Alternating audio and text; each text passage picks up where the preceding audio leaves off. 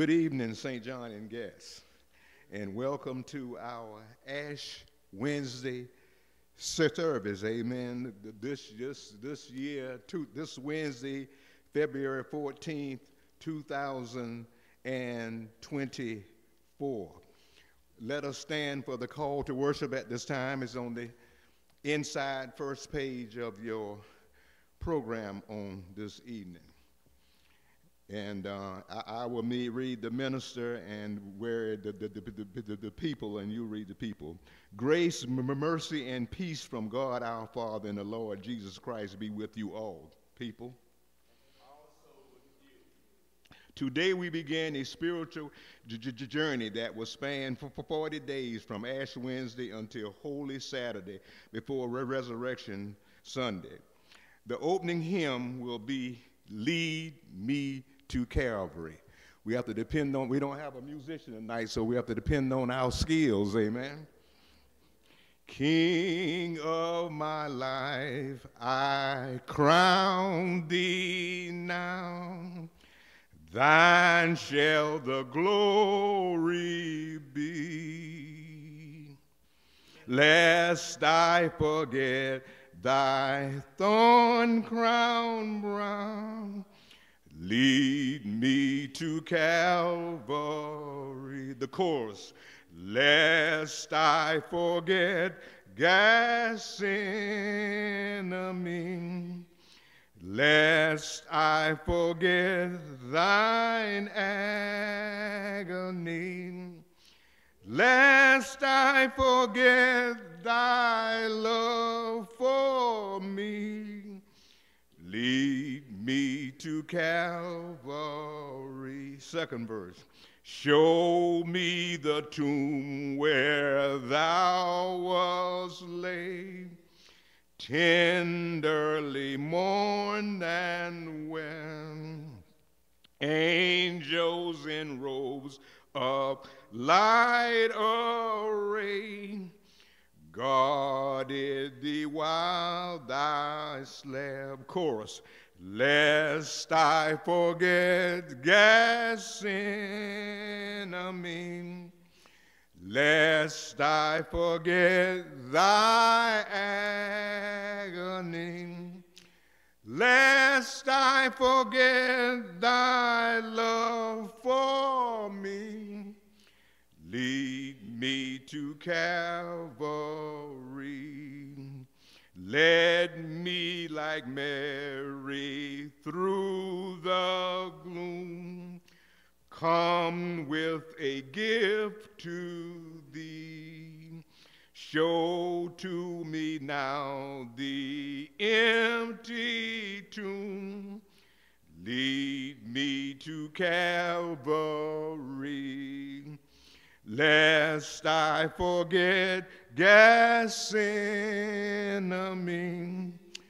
lest I forget thy love for me, lest I forget thy love for me, lead me to Calvary.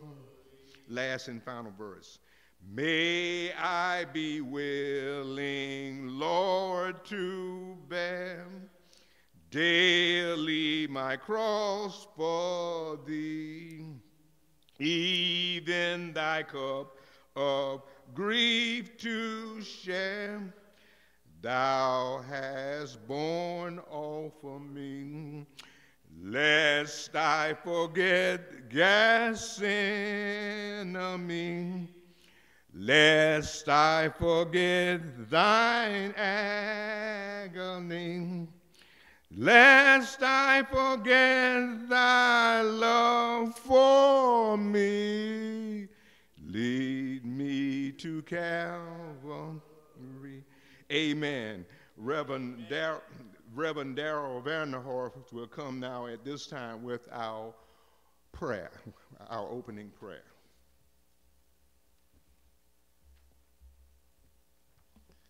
Good evening, St. John.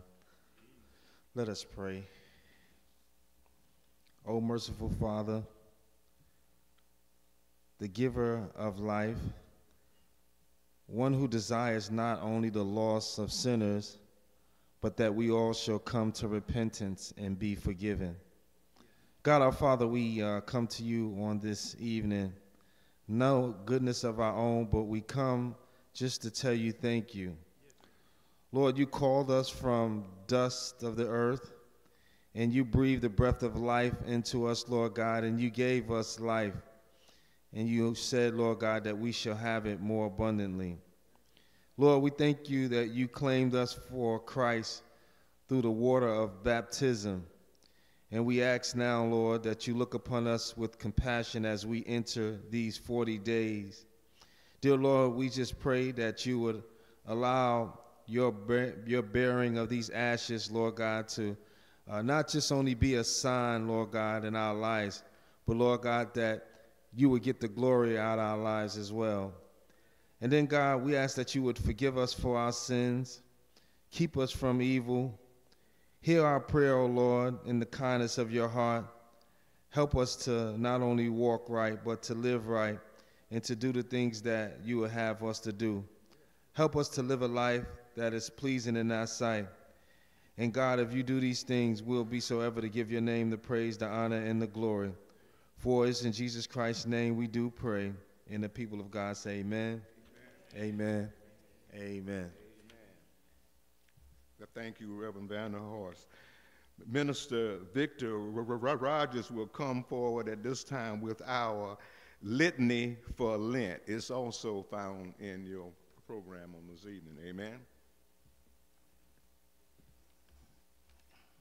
I will read, read the um, bold, and the congregation will read the light letters. Uh, Litany for Lent.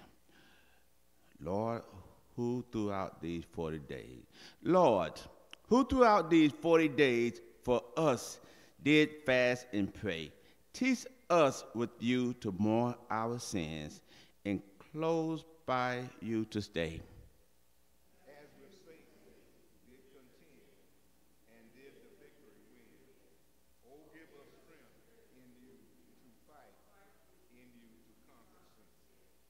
As you did hunger and did thirst.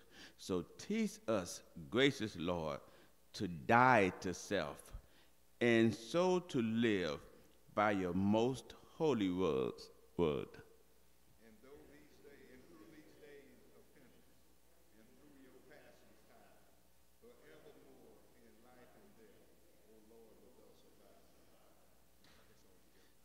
All together? Abide with us, that when this life of suffering is past, an Easter of unending joy we may attain at last. Amen. May, may, may the Lord um, bless the reading as well as the hearing of his words. Amen. The Old Testament scripture on this, on, the, on, on this evening comes from Isaiah, the 58th chapter verses 6 through 12, and it will be by our own Deacon Wallace Brown.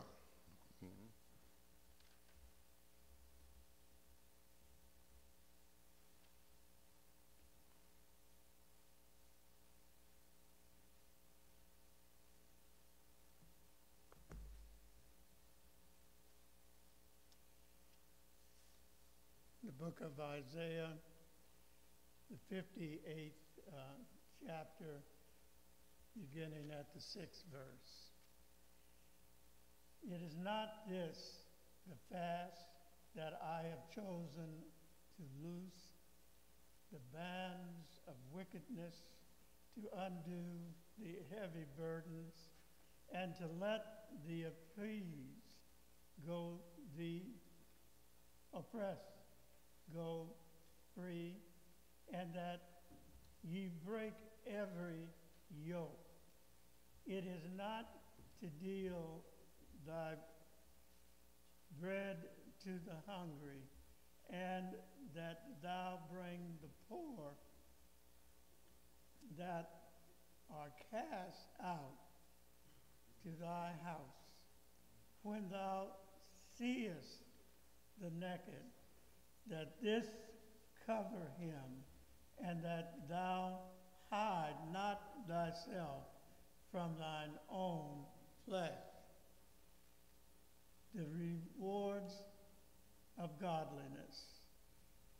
Uh, then shall thy light break forth as the morning, and thine health shall spring forth speedily, and thy righteousness shall go before thee. The glory of the Lord shall be thy reward. Then shalt thou call, and the Lord shall answer. Thou shalt cry, and he shall say, Here I am. If thou takest away from the midst of these the yoke, the putting forth of the finger and speaking vainly. And if thou draw out thou, thy soul to the hungry and satisfy the afflicted soul, then thou, then they hunger, then thy hunger rise in the obscurity and thy darkness be in the noonday. And the Lord shall guide thee continually and satisfy thy soul in drought and make the fat thy bones, and thou shalt be like a watered garden and like a spring of water whose waters fall not. And they that shall be of thee shall build the old waste places. Thou shalt rise up the foundations of many generations, and thou shalt be called the repairer of the breach, the restorer of the past to dwell in. Verses 6 through 12 of Isaiah 58. May the Lord add, thank you, Deacon Brown. May the Lord add a special blessing to the reading as well as the hearing of those words. Our New Testament scripture on this, on this evening comes from Matthew, the sixth chapter, verses 1 through 6, and then 16 through 18. And that will be uh, read to us by Deacon Lee uh, Corley.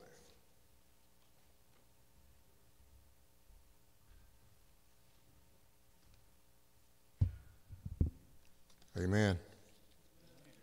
Matthew, Gospel of Matthew, the sixth chapter, first through the sixth verses, then the 16th through the 18th verses.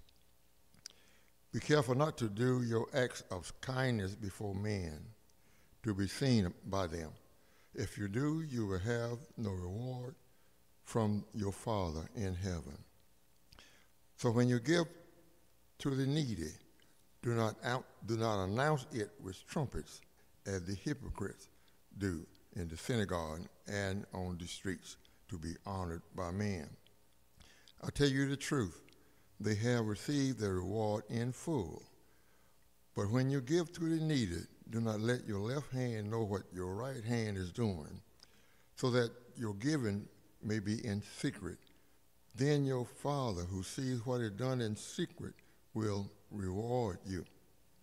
And when you pray, do not be like the hypocrites, for they love to pray standing in the synagogue and on the street corners to be seen by men.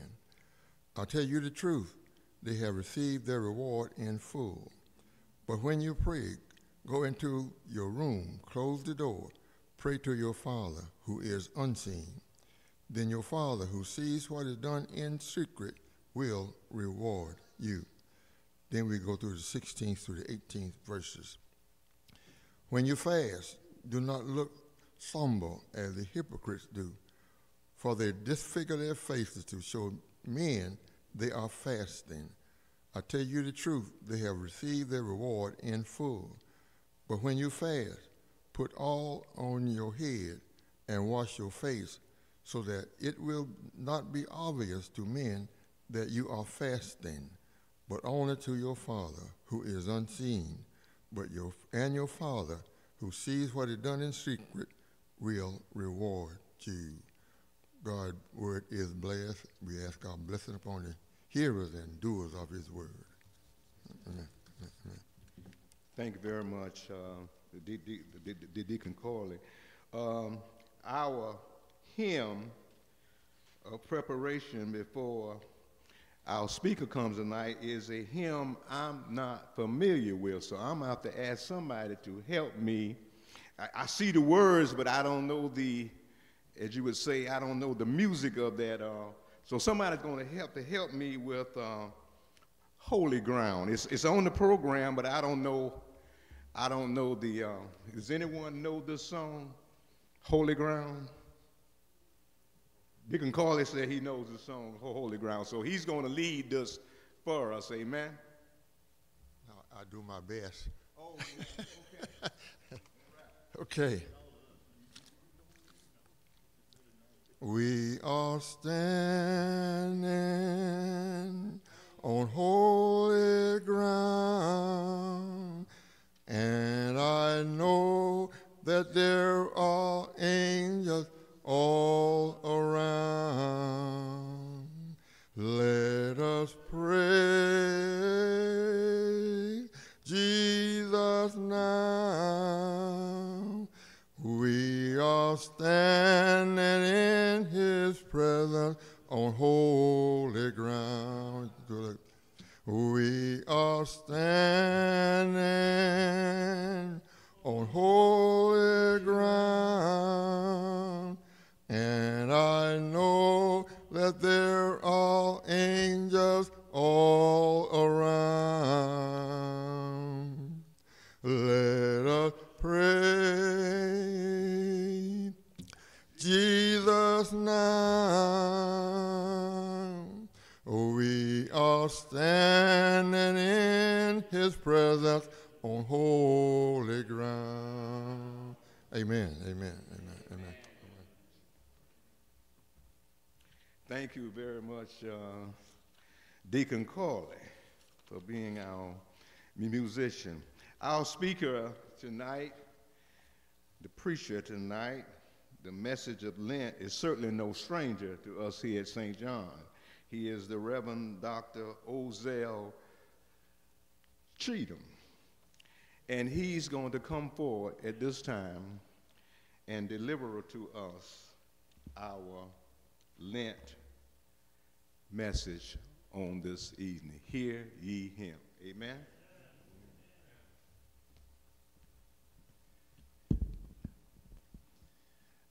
I cannot get him to stop calling me doctor.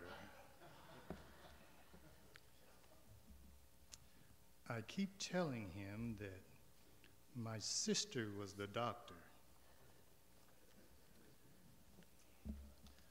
But I don't know, one day maybe I'll stop trying to stop him.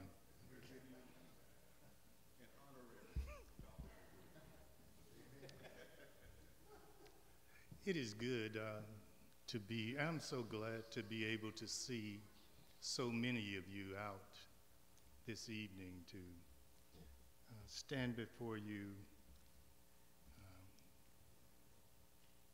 in your presence, in the presence of God, in this place, to hear a few words. Pastor Graham told us we should be up here no more than 15 to 18 minutes. And I'm going to try to do what he asked. Now, you must understand that when you ask a preacher to get up and talk, he might say quite a few things. So I want you all to pray with me. I went around to uh, a few of you, most of you really, to ask your prayers this evening. Um, because, for one thing, I, I never really did anything with Lent until I got here at St. John Baptist Church. Um, the churches that I've been affiliated with, only two. My home church in Birmingham, Alabama, a little church called First Baptist Church in Pratt City, a little community on the outskirts of Birmingham. Uh, we didn't do anything for Lent. When I was in Spartanburg uh, at Mount Moriah Baptist Church, we didn't do anything for Lent. And um, I don't remember doing anything for Lent when uh, uh, Pastor Counts was here. But here we are and we're talking about Lent. So I had to go and start looking up stuff about Lent, okay?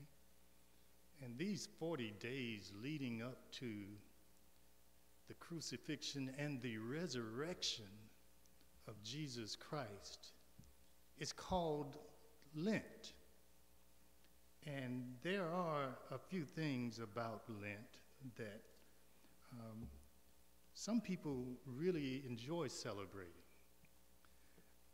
I don't know as much about celebrating it, but here's what I do know. The Lenten season is about the reason for the suffering and the sacrifice of Jesus Christ. The reason for the suffering and the sacrifice of Jesus Christ. I don't know about you, but if you had a, how many of you all had brothers and sisters when you were growing up? Okay. I'm going to ask a couple of questions here. Uh, how many of you got a whipping from your parents that should have been given to one of your brothers or your sisters? Uh huh.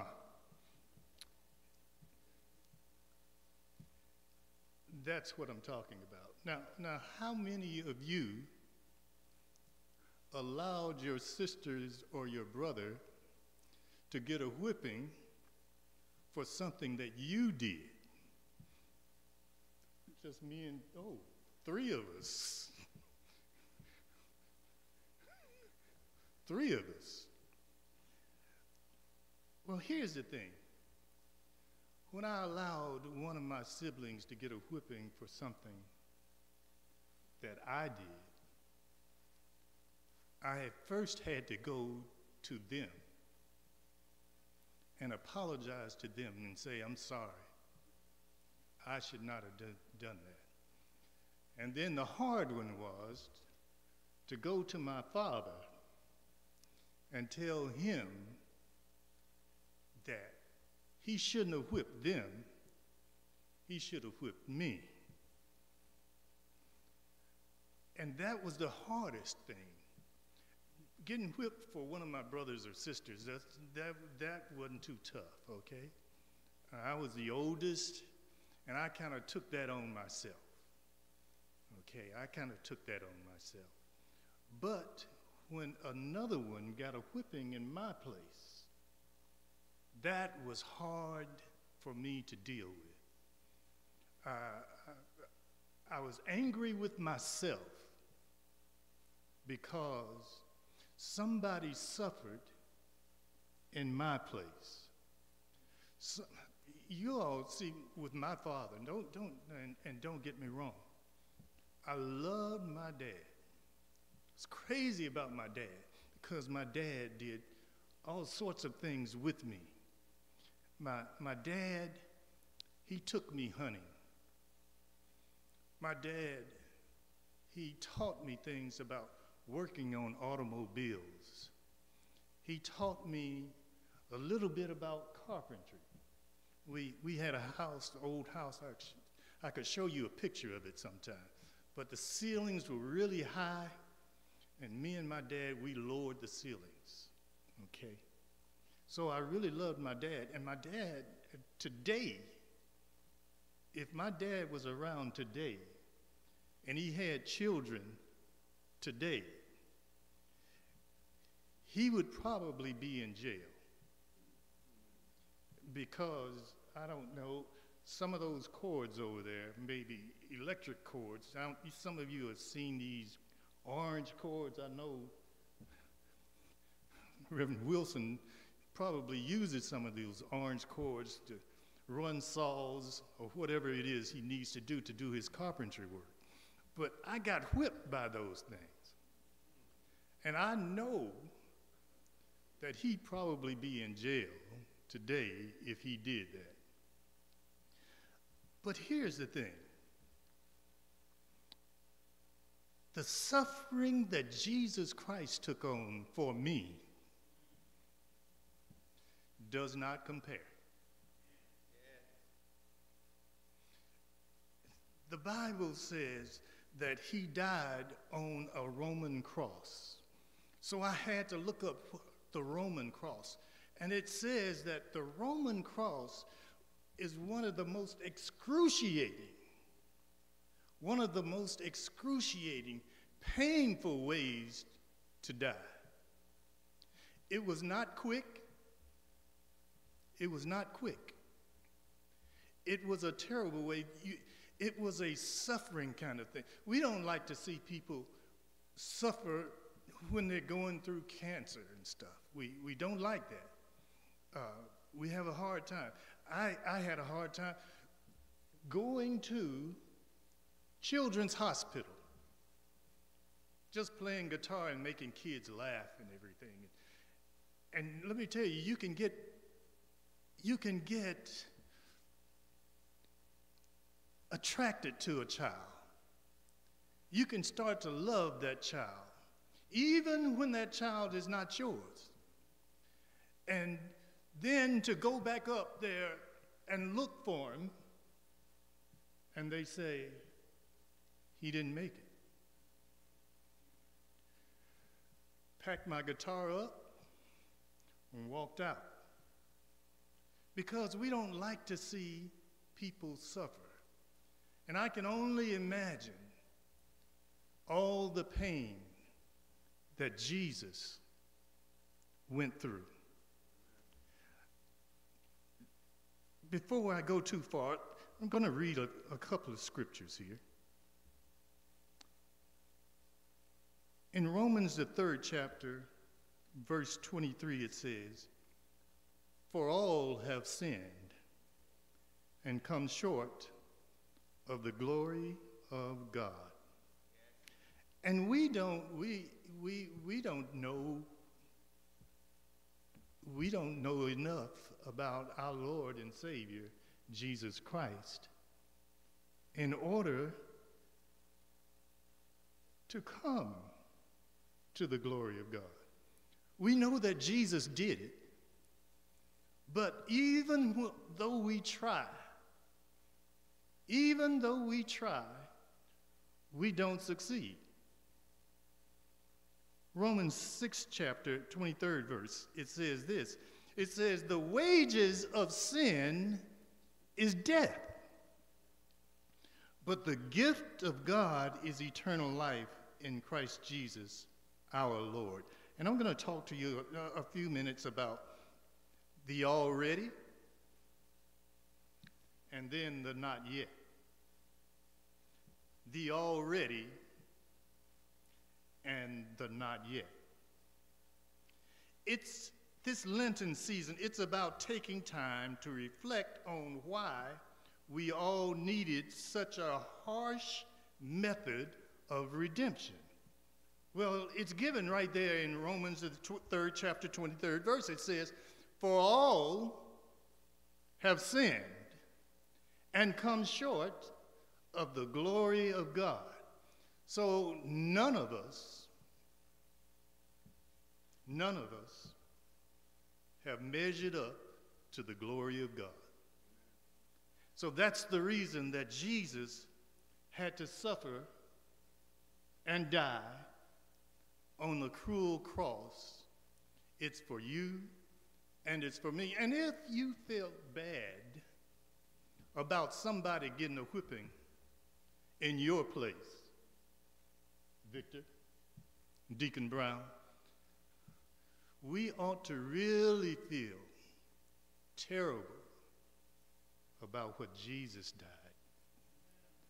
the way that Jesus died, the way that he suffered, bled, and died. My dad beat me with the orange cord, but you know what? He never, it never brought blood. The Bible says that Jesus was whipped with leather straps that had bones in it, had nails in it, until his back was like hamburger. And then they wanted him to carry his own cross up the hill to Calvary. So, this Lenten season, it's about taking time to reflect on why we all needed such a harsh method of redemption. And what's, what's very important is that Jesus did it because he loved us. The Bible says that God so loved the world that he gave his only begotten Son, that whosoever would believe in him would not perish, but have everlasting life. Lenten season, it's about the opening up of our hearts, opening up our hands in confession and submission and letting go of sin once again. So, we've already done some of it, but there's more to come. There's the not yet. It's the already and it's the not yet. It's like having, you, you, you're somewhere in between the already and the not yet. You see, we have the already. Most of us, anyway, have confessed that we are sinners. That we are sinners and we were saved by grace. We came down the aisle we gave the minister our hands. We confessed that we were sinners and that we believed that Jesus Christ died on Calvary and that he rose again on that third day for our sins. And because he died and rose again, we shall live again. We shall have eternal life. You see, we have the already but in between there, there's a not yet. And yet we have not pertained that perfection. So we're somewhere in between. We must confess our sins.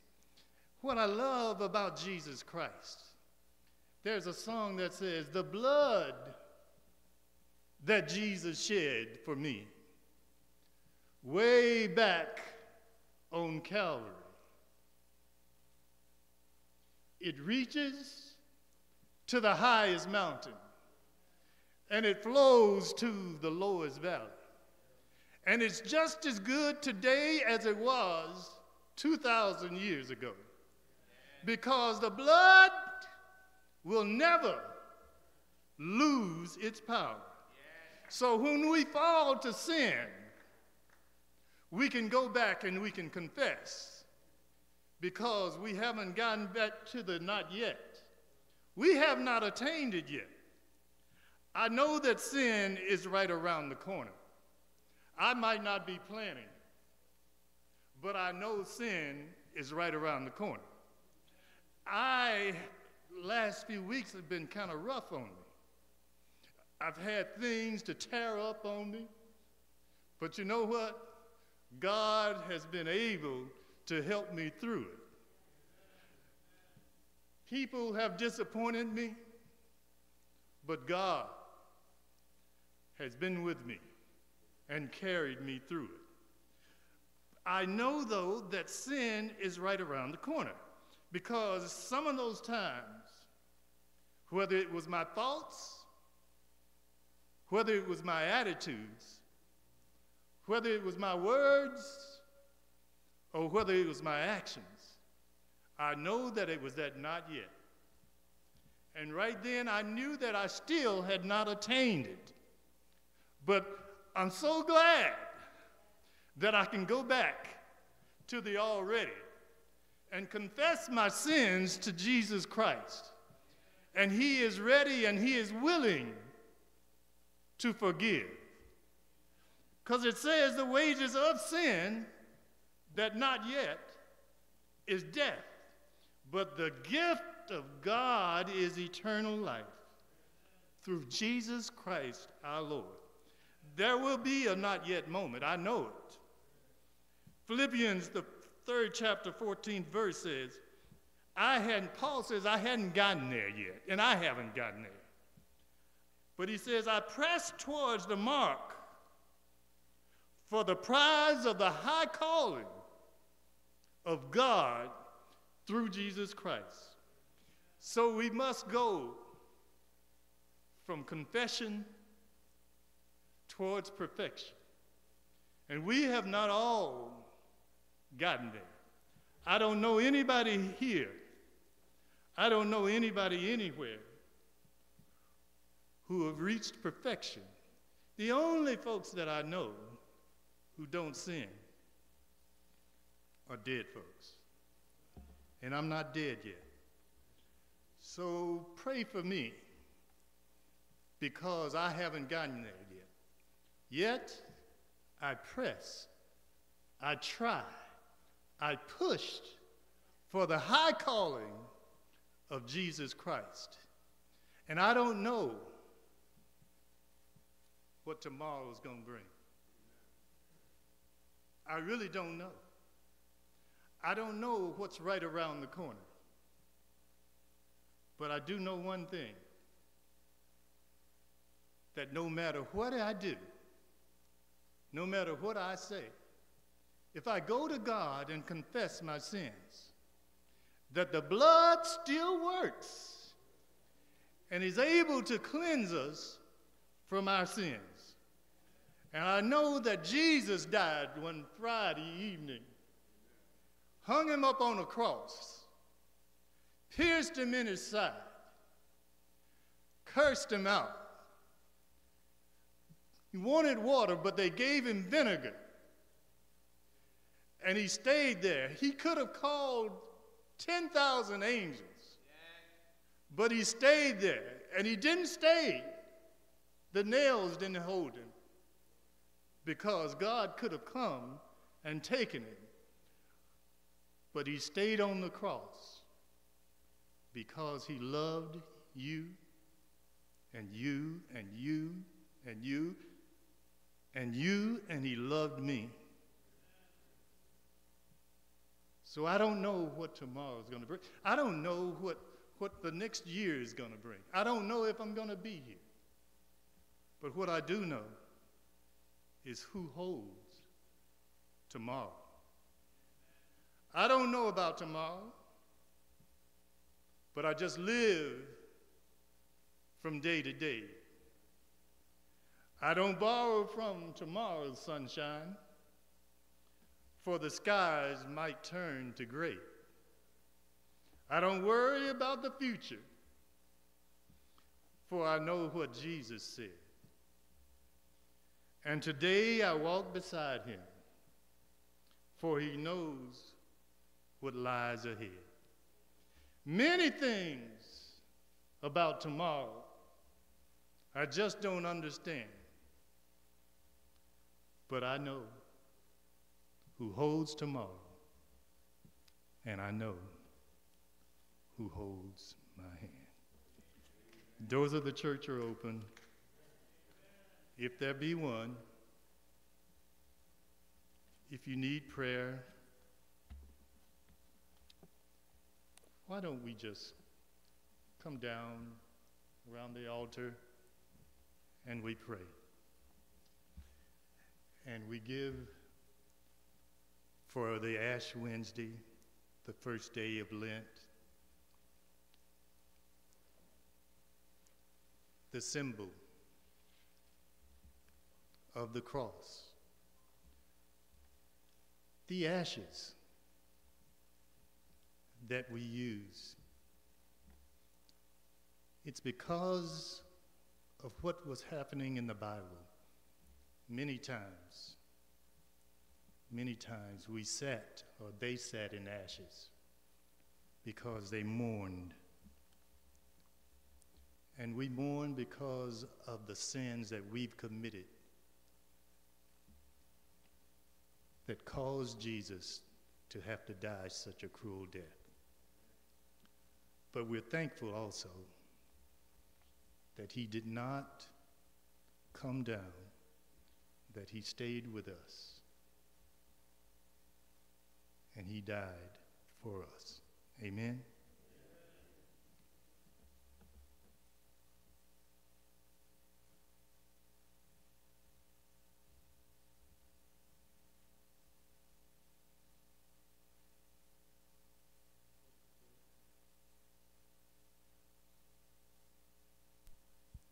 Our Father and our God, we are so thankful for your Son, Jesus Christ. We thank you for the great sacrifice that he made, that we might have the right to the tree of life, that we might have eternal life. Now, Lord, we come to you to say that we appreciate, we honor you we know that you showed your love for us through your Son, Jesus Christ.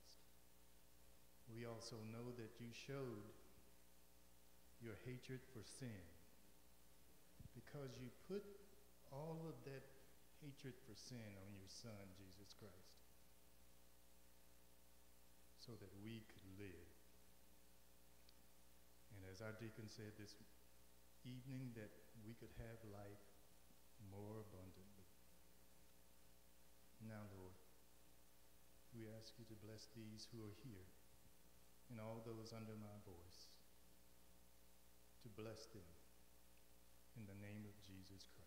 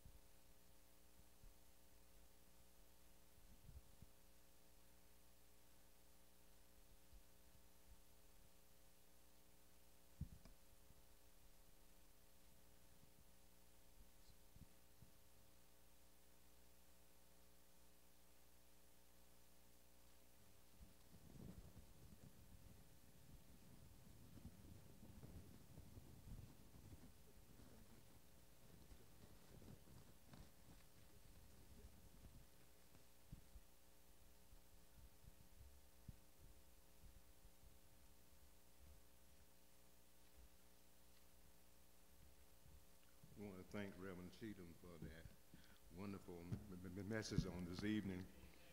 Amen. It, uh, I thought about when, when, when Reverend Cheatham was saying that Christ, how Christ died for our sins. I know, I, rem, I remember my, when I was a little boy, my daddy fussed at me for not eating like I should eat and going outside half dressed, and I caught the flu real bad. And um, came down with a fever, a bad fever. And my daddy, and I know some of you parents have experienced it, and my daddy came down with a bad case of the flu just trying to treat me. You, everybody experienced that? He came down with a bad case with fever and everything, trying to help me. He came down because I was hard headed. So we have to realize Christ paid a price for sins that we have committed. Amen. Amen. Um, uh, we're going to ask Deacon Corley to lead us with one last hymn of his choice, and then Minister Vanderhorst is going to ask you to close us out with prayer. Okay? Of your choice. Oh, I know it was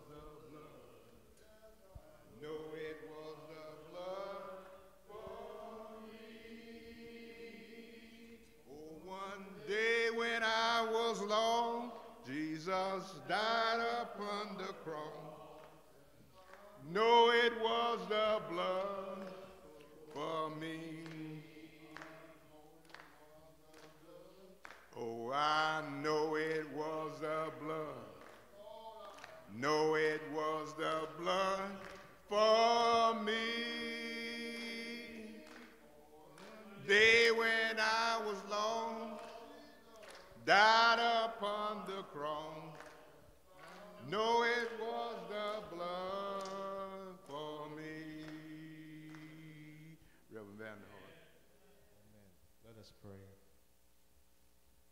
Our kind and our merciful Father, it is again that we, your people, call upon your name. And Lord, with that, we uh, have to tell you thank you. Yes. God, we thank you for giving us this chance, Lord God, at life and giving us a chance at life to where we have it more abundantly. And God, as we uh, embark upon these 40, 40 day journey, Lord God, everything that we desire, Lord God, we pray that it would line up with your word. God, we ask that you would have your way and have thine own way in our lives. Lord God, with so much that's going on, I know we get distracted, but allow us to remember, Lord God, what you've done for us on Calvary. And help us, Lord God, to make an ultimate sacrifice for you as we remember the things that you've done for us. God, what a memory, Lord God, that we have as we look back over the years and just remember the things that you've done for us. Lord God, we just have to tell you thank you. We thank you for sending your darling son, Jesus Christ, who paid the cost for our sins, Lord God, that we may have a right to the tree of life. And so, God, as we uh, humbly submit ourselves unto you into this service, we pray that you would continue to bless each and every one of us in a special way. You know what we need. You know what our heart desire. And then please remember uh, your preach man on today that you would restore him back a hundredfold and give him back what he has poured out unto your people. God, help us, Lord God, to not only love for one another, but care for one another. And I believe, Lord God, that's why you allowed your son, Jesus Christ, to die for us. For God so loved the world that he gave his only begotten son, that whosoever believe in him shall not perish, but have everlasting life. We ask these blessings in your son, Jesus' name we pray. And the people of God say amen. Amen. Amen. amen. I want to thank everybody for coming out on, on, on this evening. Amen. Mm.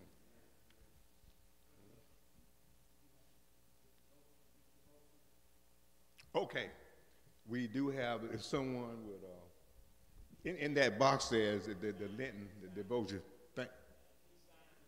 And sign your name. Okay, that I didn't know.